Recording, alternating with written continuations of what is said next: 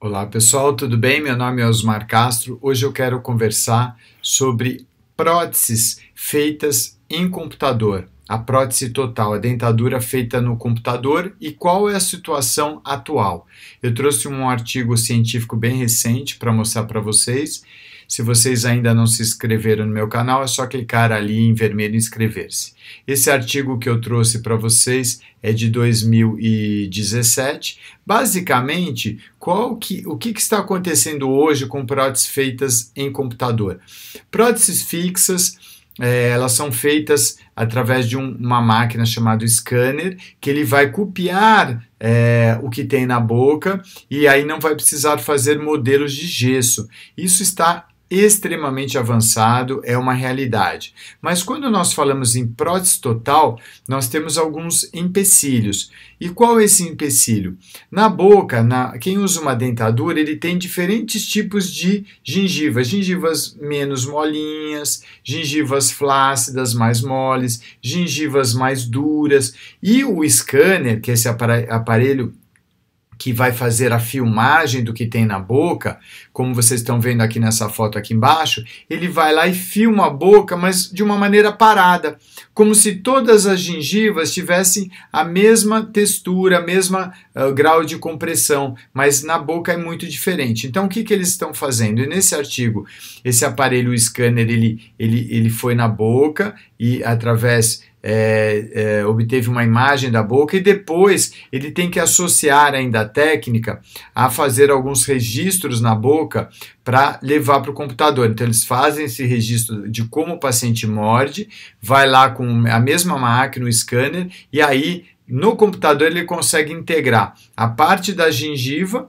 com a parte dos dentes inferiores que o paciente ainda tem com esse registro e montam num aparelho que chama articulador, que vai reproduzir os movimentos da boca. E aí, do lado direito, na foto, vocês vão ver a, a foto superior do lado direito, você tem uh, uma parte rosa, porque o computador ele monta a dentadura no computador, né? E aí você tem uma fresadora, uma máquina que vai cortar um acrílico e fazer a parte rosa. E depois ela vai planejar os dentes e uma máquina fresadora vai, vai produzir os dentes. E depois, nessa foto da direita do lado de baixo, esses dentes eles são cimentados na prótese. Então aí você obtém uma prótese completa, uma dentadura. Vejam, eu coloquei 2017 essa foto da prótese que foi feita no computador, que nem eu falei para vocês, com aquele scanner que vai copiar a boca e vai pegar, fazer a parte rosa e depois os dentes. E uh, uma prótese recente que foi feita pela técnica convencional com moldagem, modelos de gesso. Dá para ver que essa prótese é, convencional ela é melhor ainda hoje do que a do computador. Primeiro, eu consigo uma borda melhor que vai reproduzir é, os movimentos da boca e a musculatura para dar mais vácuo.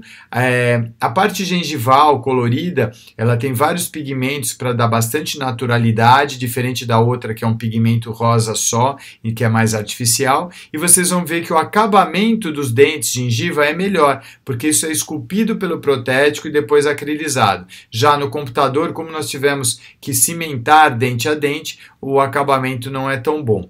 Então, eu diria que hoje ainda não é possível fazer uma prótese total, uma dentadura, com a excelência que nós conseguimos pela técnica convencional.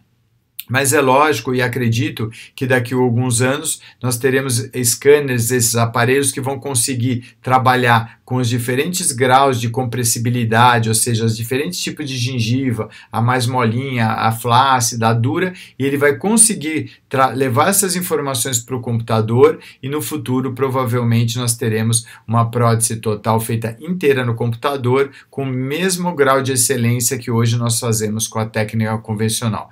Mas ainda hoje isso não é possível, mas acredito que no futuro será. Ok? Espero que vocês tenham gostado. Um forte abraço, fiquem com Deus e até a próxima, se Deus quiser.